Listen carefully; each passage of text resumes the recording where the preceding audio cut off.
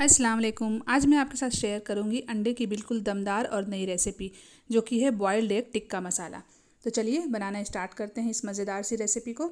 तो इसके लिए हम ले लेंगे बॉयल्ड एग ये देखिए तो मैंने यहाँ पे चार बॉयल्ड एग लिए हैं और इस तरह से हमें स्लाइसेस में इसे कट कर लेना है। ये देखिए राउंड राउंड हम इसे कट कर लेंगे।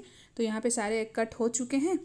अब चलते हैं इसे बनाने के लिए। तो सबसे पहले हम ऑयल ले लेंगे। हाफ़ कप मैंने यहाँ पे ऑयल लिया है और इसमें हम ऐड कर देंगे थोड़ा सा ज़ीरा और इसके साथ ही हम लगभग तीन से चार प्याज को कट करके हम इसमें ऐड कर देंगे। अब हम इसे फ्राई कर लेंगे। तो प्याज का कलर जब तक ब्राउन नहीं हो जाता, तब तक हमें इसे फ्राई कर लेना है। तो यहाँ पे प्याज का कलर ब्राउन हो चुका है। आप देख सकते हैं बहुत ही बढ़िया इसमें कलर आ चुका है। तो अब हम इसमें ऐड कर देंगे दो से तीन टमाटर।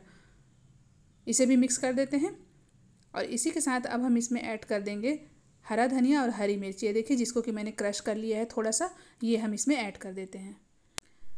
और इसे भी अब हम मिक्स कर लेंगे। अब बस थोड़ी देर के लिए हम इसे पका लेंगे। थोड़ी देर के बाद ही हम इसमें कुछ पाउडर मसाले ऐड कर देंगे, जिसमें कि है गरम मसाला, ज़ीरा पाउडर, धनिया पाउडर, हल्दी और लाल मिर्च। इन सभी को इसमें मिक्स कर देते हैं। तो मैंने ना ज़ीरा पाउडर और धनिया पाउडर दोनों को मिक्स करके रखा है। इसीलिए मैं यहाँ पे एक साथ ही दोनों को ऐड कर रही हूँ। इसे भी मिक्स करते हैं, इसके साथ ही टेस्ट के अकॉर्डिंग हम इसमें नमक ऐड कर देंगे। अब थोड़ा सा हम इसे फ्राई कर लेंगे, जब तक कि मसाले अच्छे से भून नहीं जाते, तब तक हमें इसे पका लेना है। तो इसे कवर कर देते हैं।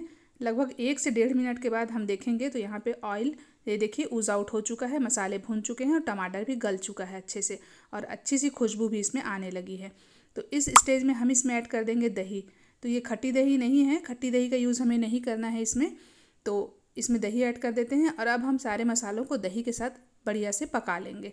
तो इसे मिक्स कर देते हैं और इसे हम कवर कर देंगे। लो फ्लेम रखेंगे हम गैस का मीडियम टू हाई नहीं रखना है हमें, इसे लो फ्लेम में ही पकाना है। तो यहाँ पे ये देखिए, लगभग दो से तीन मिनट के बाद हम इसे चेक करेंगे। तो दही भी अच्छे से मसालों के साथ पक चुका है, आप देख सकते हैं इसका कलर चेंज हो चुका है। तो इसे मिक्स कर देते हैं और अब हम इसमें ऐड कर देंगे पानी। जो कि हमें ग्रेवी के हिसाब से पानी ऐड करनी है तो मैं यहाँ पे एक गिलास पानी ऐड कर रही हूँ क्योंकि ग्रेवी हमें थोड़ी थिक ही रखनी है, इसकी ग्रेवी थोड़ी थिक रहती है। तो पानी ऐड करने के बाद अब हम इसे मिक्स कर देते हैं और अब एक उबाल आने तक हम इसे पका लेंगे। तो यहाँ पे एक उबाल आ चुका है, आप देख सकते हैं। वाइल्ड एग कट करके रखे थे, वो हम इसमें ऐड कर देंगे। तो धीरे धीरे से हमें इसमें सारे एग को ऐड कर देना है। और अंडे को ऐड करने के बाद हमें इसे ज़्यादा चलाना नहीं है। आप देखेंगे, मैं इसे ज़्यादा नहीं चलाऊँगी, बस इसे ऐड करके हमें थोड़ा सा इसे पका लेना है। ऊपर से हम इसमें कसूरी मेथी ऐड कर देंगे और अब हम इसमें एक ट्विस्ट देंगे।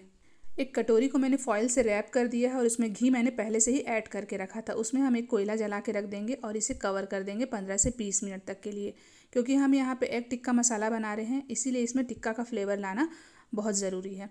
तो यहाँ पे ये लीजिए, पंद्रह से बीस मिनट के बाद हम चेक करेंगे। तो ये हमारा एग टिक्का मसाला बन के बिल्कुल रेडी है। तो आप इसे गर्मा गर्म नान, रोटी या फिर राइस के साथ सर्व करें।